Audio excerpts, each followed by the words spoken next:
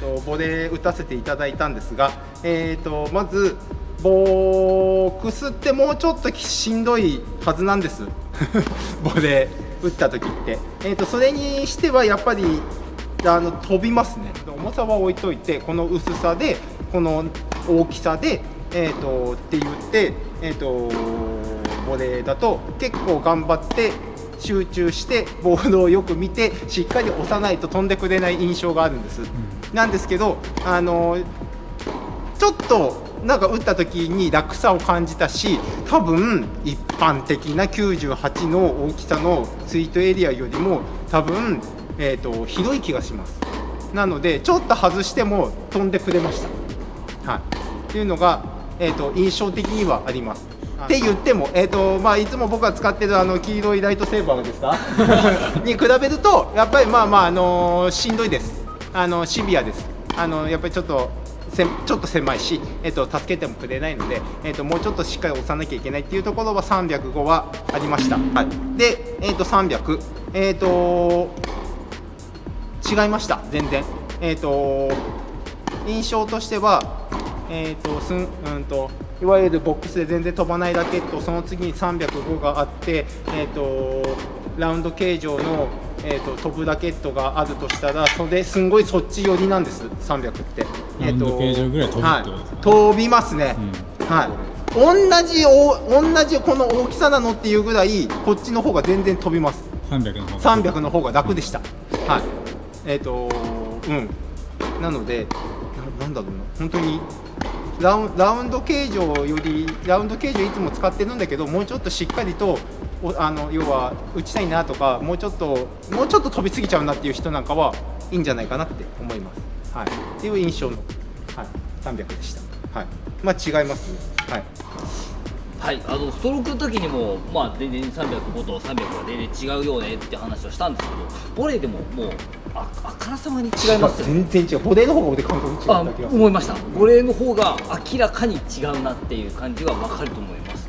あのまずやっぱりボレーってボールをダイレクトにこう受けるんでラケットはこう、まあ、もろに衝撃を受けるというか、はい、あのあるので。でやっぱりストロークの場合ってスイングワークが大きいんである程度自分が振ってしまってるとなんとなくこうごまかしちゃってるところがあるんですけどボレーの場合スイングワークが小さいので結構ラケットにあのパワーの部分とかって依存しちゃうところがあるんですけどその中で305のフレームで取って押してちゃんと飛ぶっていう感じがある。あのラケットにパワーがないと打ち負けるとか、はい、あの本当にこう失速しちゃうとかっていうのがあるんですけどそういう感じが全くなくちゃんと取って押せるんだけど球に威力も伝わる。なので自分がこうしたいなっていうのが表現できるなっていう感じがするんで僕は好きです何か。今までにない感覚じゃない？ですね、うん、もうちょっと飛ばないよねこの感覚あの飛ばないと飛ばないことが多いと思います、うん、あの逆に飛ぶっていうと弾いてるから飛ぶっていうことはあるんですけど、うん、こんだけちゃんと乗ってる感があってであ飛んでるなっていう感じがあるのはかなり珍しいというかあまりないいなっていう感じがしますね。少しだけ補足をするとですねあのなんで飛ぶかっていうとこういう結構ボックス系のラケットって結構ここのたわみって結構硬めなんですよ大体。はいはい、でこれ結構ここ結構大きくたわみやすくしてるんでだからここのパワーが生まれやすい、まあ、ちょっとフレームの断面とかも結構こだわってでここの溝をちょっと深めに入れてこっち側すごい動きやすくしてだからフレームでいうとこっち側でパーツも厚いんでそもそもここのブレないように。でここもブレないしでちゃんとたわむしで乗り感をししなる感じがあるあるからあの木塚さんは305が良くてで少し弾くところがあって中村コーチは300度が良くて中で両方ともここがちゃんとたわんでるんでどっちでも飛び感がちょっとあるっていうところでたわみ感によってのあれなんだね。その要はボールを持つっていうのもあれば、飛ばすっていうところで。たわむから飛ぶっていう理屈もあるたわみからたわむから飛ぶは結構ありますありますよね、はいでその分要はしラケットがしなるからその分ちょっと飛ばなかったり。柔らか柔らかかったり。飛ばなかったり。端から飛んだり。ってその結局柔らかくても感じても飛んでるし弾いても飛んでるってことなんですね。そうですね、はい、そのバランスの取り方がすごい良くて打球感の好み的に僕が300が好きで中村コーチが300が好きでっていう。っていうのが分かれたなっていうところとそうですね、僕300喋る間もなくなって終わりましたね。喋りなあなたが305好きなの分かったから十分十分十分みんなに伝わってる。えー、300です。あの弾いて飛ぶっていうねお話だって中村浩二さんこっちの方が好きっていう話してるんですけどあのーストロークの時で打った弾いて飛んでるっていう言ったんですけどボレーの時にストロークで打った時のとはまた違う掴んでる感。ですね。あの多分フェースこのフェースのフレフェースがしっかりしているがゆえにたわんでる感がよくわかるから、はい、あのなんかボレーの方がすごいストロークで打ってる時よりも乗ってるなっていう感じ。なのでスライス系でこうちょっとこう押したいよっていう時に抜けちゃわない。しっかりと押せるでパワーは弾く要素でポンって飛んでくれるっていう感じがあるので、まあ、ストロークと同じになっちゃうんですけど、まあ、掴んであのたわんで飛ばしてくれる柔らかい感じと弾いて飛ばしてる感じではあるんです。間違いなくボレーでもただボレーで打った時の方がより掴んでる感じっていうのは実感できるので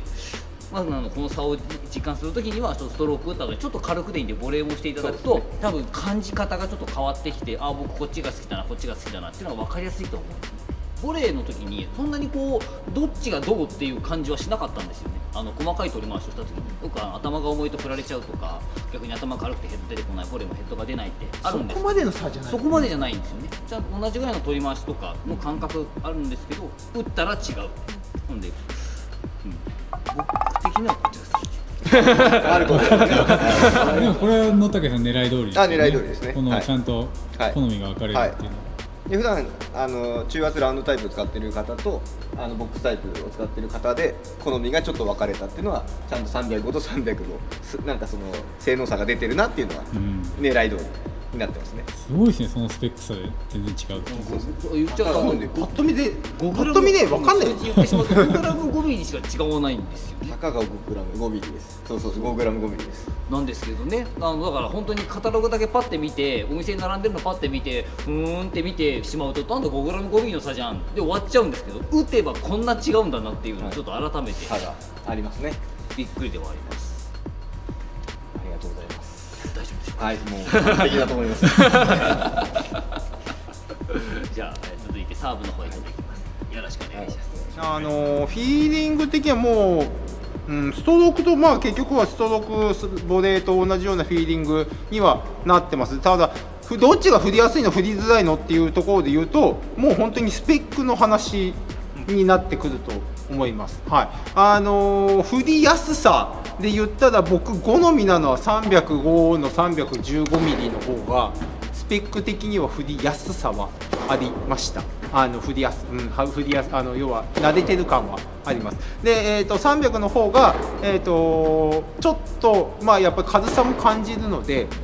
振れるっていう感じがある気がしますただ振り抜きの良さっていうのはやっぱり面面の大きさは一緒なので振り抜きはあんまりえーと感じはしない。ですで当たった時はやっぱあの305の方がよりちょっと乗っ